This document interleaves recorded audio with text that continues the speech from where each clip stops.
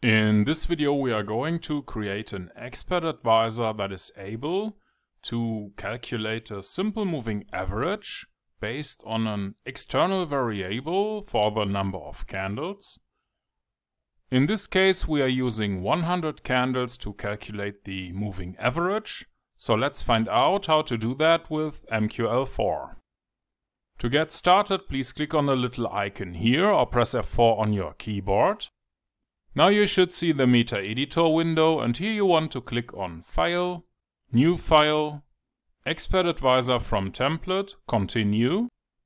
I will call this file Simple External Candle Number, click on Continue, Continue and Finish.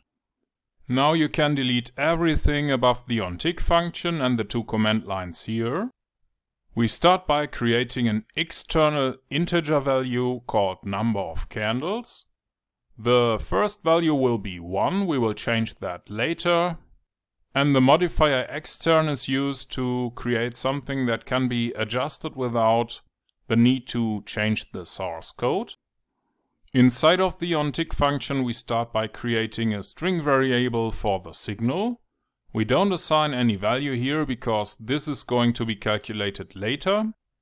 To calculate the moving average, we use the integrated IMA function for the current symbol on the chart and the currently selected period on that chart.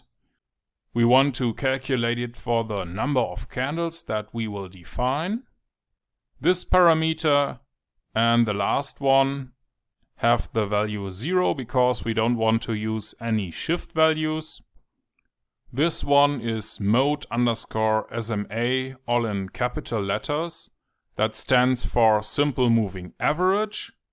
We are going to calculate the result based on the close price. And if the moving average value is below the current close price, that would be a buy signal, so we assign the word buy to our signal. Otherwise, if the moving average value is bigger than the current close price, that would be a sell signal and now we assign the word sell to our signal.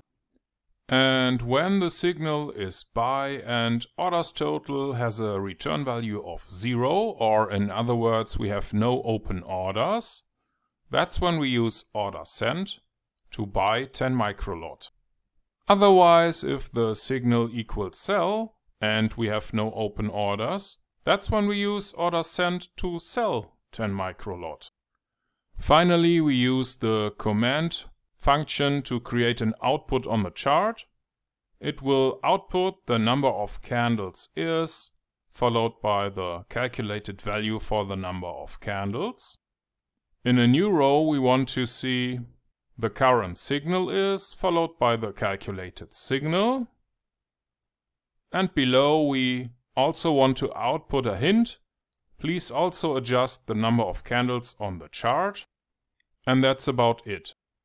Well, if this is too fast for you or if you don't understand what all the code here does, maybe you want to watch one of the other videos in this basic series first, or maybe even the premium course on our website might be interesting for you. For now, please click on the compile button or press F7 on your keyboard.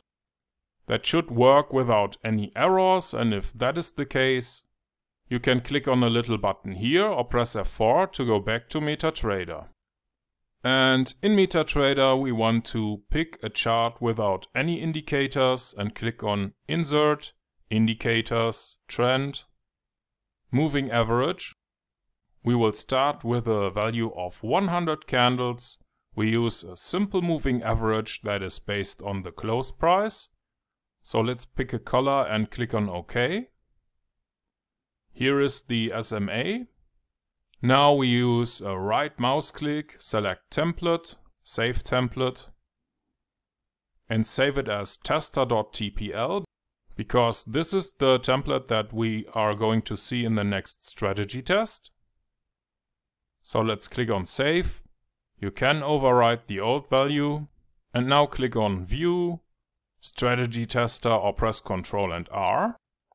Please pick the new file simple external candle number.ex4.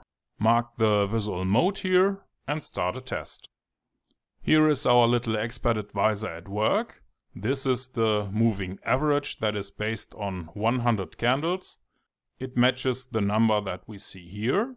So you should see buy and sell signals based on this value here. And here we have a sell signal, so our little expert advisor is working. Let's stop the test here. Select expert properties. I would now like to calculate the value for 14 candles. Let's click on OK. We need to change the Expert Advisor properties. Pick a new color. Click on OK. Here is the new moving average value. So let's right click, select template, save template, and save the new value as tester.tpl again. And afterwards we start a new test.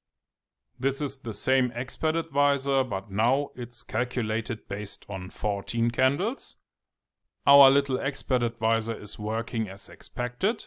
And in this little video you have learned how to create an expert advisor that is able to trade a simple moving average and you can change the values without modifying the source code by just adjusting the expert properties.